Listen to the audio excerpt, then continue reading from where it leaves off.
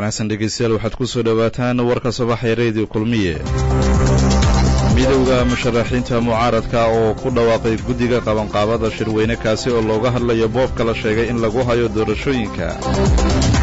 Guddiga xalinta khilaafaadka doorashooyinka iyo qaramada midoobe oo ka shilay in si deg dega loo xaliyo tabashooyinka ka dhashay doorashada golaha shacabka guddoomiyihii xidhiirka kubadda cagta soomaaliya oo xilka laga qaaday kadib markii lagu eedeeyey in uu qalqalgeliyey xidhiirka kubadda cagta soomaaliya. Xisbiyada mucaaradka somalilan oo ka hor yimid go'aanka xukuumadda somalilan ay ku aadan furista ururada siyaasadda. Diiwaangelinta musharaxiinta kuraas ka mid a golaha shacabka oo maanta ka bilaabanaysa magaalada muqdisho. Dibaddana waxaa ka mid ah tirada dad ku dhintay dabeelaha garaacaya lix gobol oo ka tirsan maraykanka oo kor u dhaafay sagaashan qof iyo ciidamada israa'il oo toogtay nin falastiini ah oo xidhnaa waxyaabaha qarxa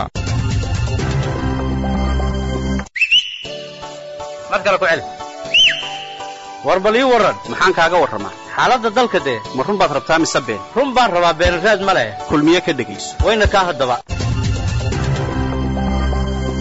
waa subax isniina taariikhda ay ku beegan tahay saddex iyo tobanka bisha disembar sannadka laba kun iyo koob iyo labaatanka cali suxayfo ayaa warkeena isaaka soo saaray. Amaal yuusuf macalim ayaa diyaar lah xasan maxamed aweysaad buu u mahadsan yahay. Mar kale subax wanaagsan dhegeystayaal ku soo dhowaada qodobadaad maqasheen oo dhammaystiran. Midowda musharaxiinta mucaaradka ayaa ku dhawaaqay guddi qabanqaabada shirweyne kaasoo looga hadlayo boobka la sheegay in lagu hayo doorashooyinka dalka cali cilmi salaad ayaa ka waramaya qoraal xalay fiidkii ka soo baxay midowda musharaxiinta mucaaradka ayay ku soo saareen war-saxaafadeed wata saamayntiisa siyaasadeed.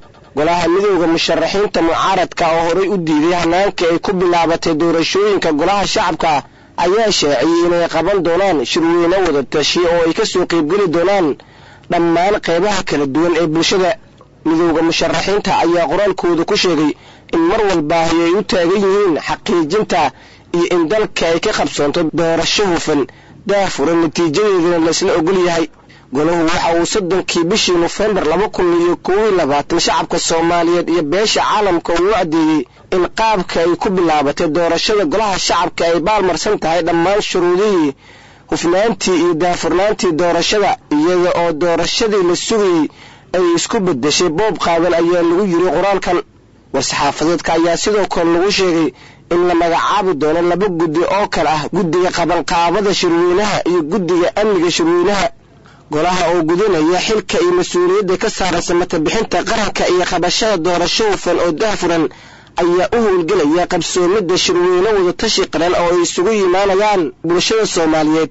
Si loo taabageliyo hawshaas culus ayaa lagu yiri qoraalka ka soo baxay midowda musharaxiinta cabsida laga qabo in gacanka hadal oo mar kale ka dhaco caasimadda muqdisho ayaa sii kordhaysa maadaama qoraalkii xalay uu dhiilo cusub xambaarsan yahay.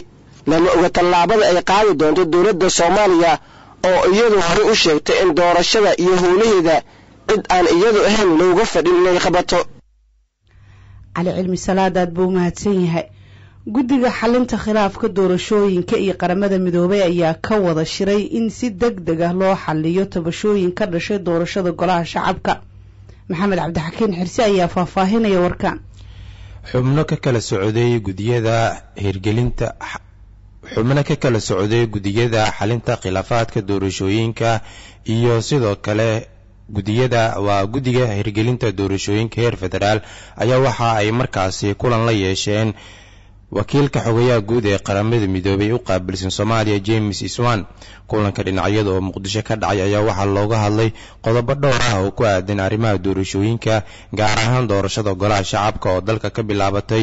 Sidoo kale waxay markaasi doorashadaasi ay ka timid cabasho iyo khilaaf ku aadan sida ay ku dhaceen qaar ka mid ah doorashada kuraas markaasi lagu kala doortay koonfur galbeed iyo galmudug sidoo kale waxay mas'uuliyiintan ay ka wada hadleen horumarka ilaa hadda lagu tillaabsada ee doorashooyinka dalka caqabadaha ku geedaaman geedi socodka doorashooyinka waxyaabihii ka qaldamay hanaanka doorashada iyo sida loo sixi karo iyo baahida loo qabo in dowlad goboleedyada harsan ay si deg deg ah u bilaabaan doorashada golaha shacabka dowlad goboleedyadaas waxa ay kala yihiin puntland hirshabeelle iyo sidoo kale jubbaland. Ugu dambeyn kulanka intii uu socday waxaa laisla gartay qodobo dhowr ah iyadoo hoosta laga wada xariiqay muhiimadda ay dalka u leedahay hirgelinta doorasho hufan oo daha furan oo xilligan ee cakiran ka qabsoonta. Guddoomiyihii xiriirka kubadda cagta ayaa xilka laga qaaday kadib markii lagu eedeeyey inuu khalkhalgeliyey xiriirka kubadda cagta xanad maxamed karaama ayaa faahfaahinaya warkaan madaxweynihii xiriirka kubadda cagta soomaaliya cabdiqani siciid carabi ayaa shaqo joojin lagu sameeyey sida ay sheegeen xubno ka mid ah guddiga fulinta xiriirka kubadda cagta soomaaliya oo kulan ku yeeshay magaalada muqdisho. Yuusuf muxudiin axmed oo ah xogeyaha xiriirka kubadda cagta soomaaliya oo warbaahinta la hadlay ayaa sheegay in cabdiqani siciid carab lagu eedeeyey ilaa iyo shan qodob ay ka mid yihiin in uu ku xadgudbay awoodaha iyo dastuurka u yaalla xiriirka kubadda cagta soomaaliya iyo inuu meel kaga dhacay. Qodobo ay ka mid yihiin in dhammaan uu laalay xeerarkii u degsanaa xiriirka kubadda cagta soomaaliya ee lagu maamulayay ciyaaraha kala duwan ee dalka. Iyo sidoo kale inuu ku guuldaraystay qodobadii ka soo baxay shirkii xiriirka ee agosto uun hor istaag ku sameeyey in la qabto horyaalka kubadda cagta soomaaliyeed iyo in la fuliyo dib eegista dastuurka xiriirka kubadda cagta oo la go'aamiyey bishii agosto ee sannadkii laba kun iyo labaatan. Guddiga fulinta xiriirka kubadda cagta soomaaliya ayaa sheegay in iyagoo ka tixraacaya qodobadaasi ay cod uga qaadeen in shaqada laga joojiyo guddoomiye cabdiqani siciid carab waxayna bilaabeen baaritaan ay sameeyeen ilaa iyo guddi ka kooban saddex xubnood oo uu magacaabay guddiga fulinta. Iyagoo sidoo kale sheegay in guddiga fulinta ay go'aamiyeen inuu xilka guddoomiye sii hayo ku-xigeenka guddoomiyaha xiriirka kubadda cagta soomaaliya shirka oo iskugu yimaadeen xubnaha guddiga fulinta waxaa lagu go'aamiyey waxaa lagu soo jeediyey eedeemo soo jeedin xubnaha guddiga fulinta xiriirka soomaaliyed kubadda cagta ay soo jeediyeen oo lagu eedeynayay guddoomiyaha xiriirka soomaaliyed kubadda cagta kuwaas oo ahaayeen ilaa iyo ilaa iyo shan qodob qaab qoraale ujeedo qoraal minub ama qoraal shireed lagu soo saaray. Shantaa qodob oo kala ahaayeen kow in uu ahaa qaab isticmaalka awoodaha ama waxa loo yaqaano power abuse-ka oo ah mid saameynaya ama carqaladaynaya dastuurka xiriirka soomaaliyeed ee kubadda cagta. Labo in uu meel uga dhacay qodobo badan oo ka tirsan dastuurka xiriirka soomaaliyeed kubadda cagta. Sidaas darteeda guddiga fulinta xiriirka soomaaliyeed kubadda cagta ayagoo fiirinaya eedeymaha la soo jeediyey waxay sameeye waxay u qaadeen cod in la geliyo proposalka ah in la susbendi gareeyo ama laga joojiyo shaqada oo u hayay xiriirka soomaaliyeed kubadda cagta guddoomiyaha xiriirka kubadda cagta iyadoo guddiga fulinta xubnihii joogay halkaas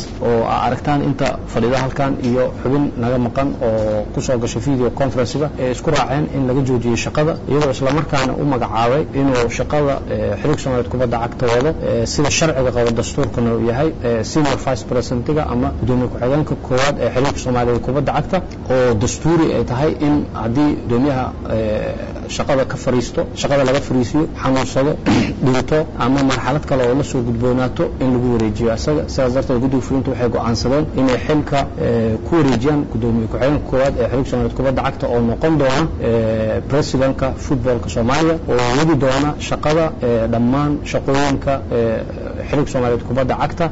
Dhanka kale guddoomiye calishino ayaa isna ku eedeeyey cabdiqani siciid carab cabdiqani siciid carab ayaa madaxii ugu sareeyey xiriirka kubadda cagta soomaaliya iyadoona haatan xilku hayo muddo ku dhow toban sano guddiga fulinta xiriirka soomaalida kubadda cagta oo mas'uulka hayadda kubadda cagta hagaajinteeda iyo horumarinteeda waxay ku howlanaayeen in hore loo dhaqaajiyo hay'adda. Sida ogtiin horyaalkii socday wuxuu ku gabagooba si rabshad ah kabacdi waxaan isku dayna wax kasta in la hagaajiyo tartamadii la qabto horena loo socdo. Taas way dhici kari weysay guddiga fulinta oo xil saaran in ay hay'adda horumarinteeda ka shaqeeyaan xil saaran. Markii ay doodo badan galeen wadatashi badan galeen waxaa u caddaatay in khalq gudoomiyuhu gudoomiyihii hore ee soomaalida kubadda cagta inuu khalkhal u horseeday kubadda cagta soomaaliya. Waxay go'aansadeen in shaqada laga joojiyo oo sidaas lagu baadiyo xiriir kubadda cagta. Waxaan rabnaa inaan halkan ka caddayno in horyaalkii koobka janan daa'uud la bilaabayo si dhaqso ah. Waxaa kaloo ballan qaadaynaa xogayahana aan ku amraynaa inuu diyaariyo macallinkii xulka qaranka soomaaliya. Waxaan samayn doonaa tijaabooyin si aan uga qayb galno ciyaaraha caalamiga ah. Ayadoo waajibna saaran tahay in kubadda cagta in la cayaaro waa la cayaari kari waayey. Waxaana u ahay guddoomiye hore xiriirka kubadda cagta sidaas ayaa guddigu meesha looga saaray. Waxaan caddaynaynaa marka in aan shaqada ay sideeda u socon doonto tartamadiina ay socon doonaan si dhaqso ah. Koongareskana waxaan u sheegaynaa inay u diyaar garoobaan. Xogayahana uu la wadaagi doono iyo kaaliyaha xogayaha wixii shaqaa oo ku saabsan in hore loo socdo. Sanadkii laba kun siddeed iyo tobankii ayaa mar kale dib loogu doortay inuu xilka sii hayo waxaa jira eedeemo iyo sidoo kale dhaliilo dad badani u soo jeediyeen xidhiirka kubadda cagta soomaaliya kuwaas oo inta badan lagu eedeeyey in xidhiirka kubadda cagta soomaaliya uusan si hufan uga shaqaynin ciyaaraha dalka. Waxaase dhanka kale jira bogaadin loo soo jeediyey cabdiqani saciid carab muddada uu jooga xafiiska iyadoo dad badan ay ku ammaaneen in isbeddel uu ku sameeyey habka maamulka xidhiirka kubadda cagta soomaaliya. Uu mahadsan yahay iminkana somalilan xisbiyada mucaaradka somalilan ayaa ka hor yimid go'aanka xukuumadda somalilan ee ku aadan furista urura siyaasadeedka. Eliyaas cabdi cali ayaa warkan hargeysa ka soo diray. Xukuumadda somalilan ayaa sheegtay in la furayo ururada siyaasadda somalilan oo saddexda xisbi qaran ee hadda somalilan ka jira ay u tartami doonaan sidii ay u noqon lahaayeen xisbiyo wasiirka warfaafinta dhaqanka iyo wacyigelinta somalilan salebaan cali koore oo warbaahinta kula hadlay magaalada hargeysa waxa uu sheegay in maanta laga bilaabo qof kasta oo muwaadina oo somalilan ay u furan tahay inuu furto urur siyaasadeed si ay ugu tartamaan xisbiyada somalilan madaxweynuhu isagoo ixtiraamaya sharciga dalka isagoo ixtiraamaya doonista dadweynaha isagoo fulinaya sharciga iyo dastuurka dalka u dhaqan waxa uu aqoonsan yahay marka loo eego sida aynu hore u soo qaadanay xeerkii doorashooyinka dowladaha hoose iyo ururada in uu furan yahay ururada siyaasadda. Maanta waxaa toos loo gelayaa in ururada la doorto ee aan dowladihii hoose waa tii shalay lagu daray baarlamanka go'aanka ay xukuumadda somalilan ku sheegtay in ururada siyaasadda somalilan la furay. Waxaa ka soo horjeestay xisbiyada mucaaridka ee somalilan wadani iyo ucud kuwaasi oo sheegay in madaxweynaha somalilan rabitaankiisa aanay ku shaqaynayn somalilan islamarkaana arrintaasi ah uu ku carqaladeynayo doorashada madaxweynaha oo ay ka harsan tahay muddo koob iyo toban bilood ah. Xirsi cali xaaji xasan guddoomiyaha xisbiga mucaaridka ee wadani oo arrintaasi ka hadlaya waxa uu sheegay. Xeerkii shalay hor yaallay ee madaxweynuhu soo celiyey ee uu soo diiday ee uu weliba sababeeyey ee uu yidhi dastuurku ka hor imanaya. Bal hadda fiirsada. Isaga qoraalkiisa eega. Waxa uu ku sababeeyey inuu dastuurka ka hor imanayo. Wuxuu ku sababeeyey inuu xeerarka kale ee dalka sida xeerka koob iyo sagaashan ee doorashooyinka inuu ka hor imanayo. Bal hadda u fiirsada madaxweyne baa caynkaa yidhi wasiirkiina wuxuu waa sharci. Waa dawlad marka aan iska hor imanayso aan sharciga ixtiraamayn madaxweynihii wasiirkiisi waa wax la yaab leh. Kuwa laga yaabo inuu fahamka ka qaldan yahay oo ku dabarogan yahay. Ee moodaya xeerka celintiisu inay tahay marka waraaqaa la soo qaadee la keeno baarlamaanka. Geesta kale faysal cali waraabe guddoomiyaha xisbiga mucaaradka ee ucud oo isna warbaahinta la hadlay waxa uu sheegay in aan la qaadan karin in madaxweynaha somalilan uu ku tunto sharciga iyadoo laga rabo in sanadkan uu qabto doorashada madaxtooyada koomiirkiisa qaba ayuu intuu hawshiis ka gutay distoor ayuu soo celiyey baarlamaankii buu yahay isna xaq buu leeyahay inuu waajibaadkiisa uu ka guto. Laakiin madaxweyne wuxuu qabaa inuu sharciga uu furay way furan yihiin inuu ka kaa maqli mayno. Inuu ka dhimashada somaliland ku aadini maysid furista ururada siyaasadda somalilan oo dadku aada ugu hadal hayaan baraha bulshada ayaa waxa ay u badan yihiin kuwa soo dhoweeya maadaama ay xisbiyada haatan jira ay dadku inta badan saluugaan iyagoo sheega in aanay isdhaamin islamarkaana waxqabad muuqda oo ay ku tartami karaan islamarkaana somalilan doorasho kaga dooni karaan shacabka aanay soo bandhigin. Xisbiyada mucaaridka somalilan inta badan waxaa lagu dhaliilaa in aanay xukuumadda si fiican ula xisaabtamin islamarkaana dhaliilaheeda iyo eedaha u jeedin warbaahinta. Iyadoo sidoo kalena xukuumadda kulmiye lagu canaanto inta badan inay ka gaabisay waxqabad shantii sane ee uu hogaaminayay muuse biixi cabdi madaxweynaha hadda talada haya arrinta ururada siyaasadda ayaa la sheegayaa inay sababi karto dib u dhac doorasho iyo madaxweynaha oo wakhti loogu daro iyadoo golaha wakiilada somalilanna xeerka ururada furista siyaasadda ay dood adag ka yeesheen maalintii shalay. Ilyaas cabdicali raadi kulmiya hargeysa. Guddiga doorashooyinka ee gobollada waqooyi ee somalilan ayaa maanta bilaabaya diiwaangelinta musharaxiinta u tartamaysa afar kursi oo ka mida golaha shacabka ee baarlamaanka federaalk soomaaliya musharaxiinta u taagan afarta kursi ee maanta la diiwaan gelinayo ayaa waxaa ka mid a. Kursiga kuraasta lambarkoodu yahay hob laba boqol labaatan iyo sagaal oo uu ku fadhiyo cismaan cabdulaahi ducaale hob laba boqol lixdan iyo labo oo ay ku fadhido fawsiya yuusuf xaaji aadan kana mid a musharaxiinta madaxweynaha soomaaliya. Hob laba boqol konton iyo afar oo ku fadhiyo jaamac maxamed askar.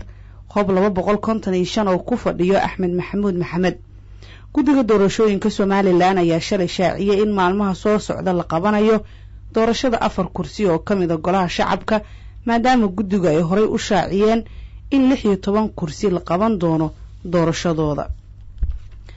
Weli waxaad dhegaysanaysaan warka subaxnimo ee shabakada wararka k n n xarunteeda magaalada muqdisho ayuu idinkaga imaanaya sida ay xaqiijiyeen saraakiil caafimaad ciidamada israa'el ayaa isniinta saaka ah dhulka la haysto ee daanta galbeed ku dilay nin falastiiniya.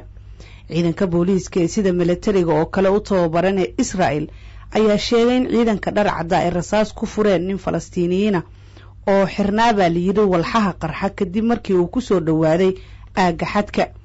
Ururka islaamig jihaad ee falastiin ayaa bayaan ay soo saareen tacsi ugu diray qoyska ninka la dilay hase yeeshee ma bixin faahfaahin ku saabsan inuu iyaga ka tirsanaayo. In kale dhanka kalena ururka xamaas ayaa ku eedeeyey maamulka falastiin inay ka dambeeyaan dilka saddex xubin oo iyaga ka tirsanaa oo axaddii shalay lagu dilay iska horimaad ka dhacay xerada falastiiniyiintu degan yihiin ee burja al shimaali ee dalka lubnaan. Ugu dambeyntiina dhegeystayaal kooxaha gurmadka ee gobolka kentucky ee dalka maraykanka ayaa weli guryaha iyo dhismooyinka burburay ka baaraya dad ay suurtagal tahay in naf loogu tago kadib duufaantii xoogga lahayd ee jimcihii garaacday baa layidhi gobollo ku yaalla koonfurta iyo galbeedka dhexe ee maraykanka. saraakiisha ayaa la sheegay inay dad weli la-yihiin sidoo kalena waa dad ay la-yihiin korontada iyo biyaha qaarna aysan bahaysan hoy. halka kuwo kalena ay ku hoyanayaan baa layidhi guryo aan saqaf lahayn gobolka illinois oo ugu yaraan lix ka mida shaqaalaha shirkadda amisom baa layidhi ayaa ku geeriyooday duufaanta.